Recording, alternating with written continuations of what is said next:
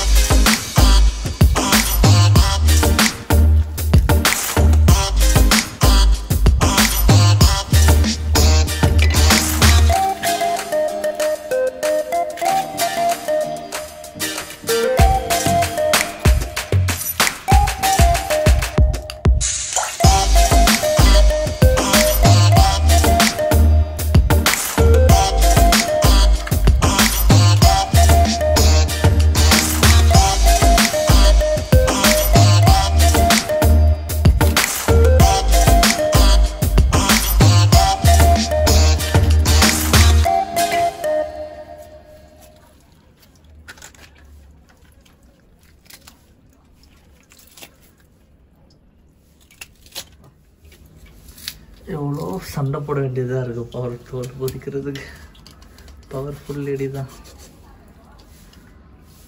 நம்ம இந்த காலத்து பெண்கள் யாராச்சும் இப்படி தோல் உரிச்சு குழம்பு வைப்பாங்களா? அதெல்லாம் பாருங்க.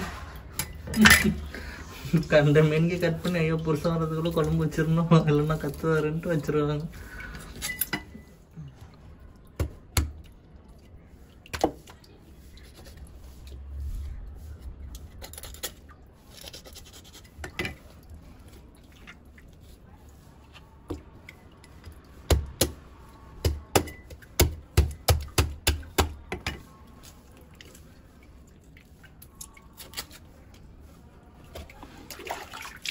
எப்படி இருந்தோம்னா எப்படி ஆயிட்டேன்றனேன்ற மாதிரி ஃபுல்லாக தோலை கட் பண்ணிச்சு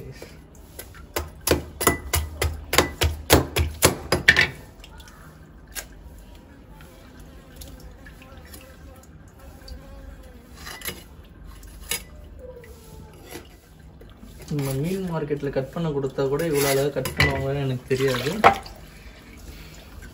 ஒரு மீன் கட் பண்ணுறதுக்கு தேர்ட்டி ருபீஸ் கேட்குறாங்க பர் கேஜிக்கு அப்போ பார்த்துக்காங்க எப்படி குறைஞ்சது ஐம்பது டு அறுபது ரூபாக்குள்ள வாங்கிடுவாங்க ஒரு மீன் கட் பண்ணுறதுக்கு அது கூட ஒரு நாற்பது ரூபா போட்டால் நம்ம வேறு ஏதாச்சும் ஒரு மீன் ஒரு கிலோ வாங்கிட்டு போயிடலாம்.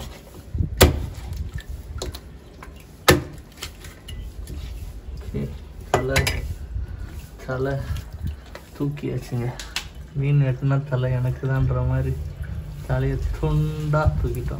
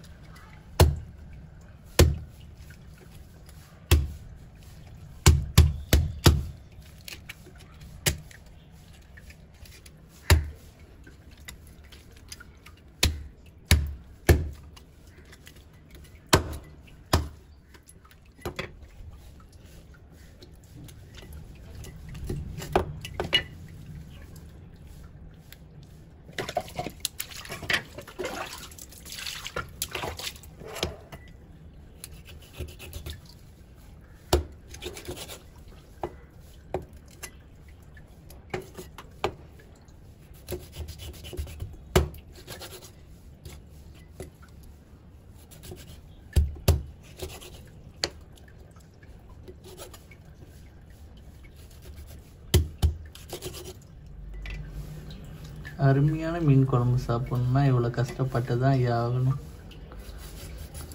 நம்ம விளையாடி முடிச்சுட்டு வருவோம். அவங்க மீன் குழம்பு வச்சுருப்பாங்க.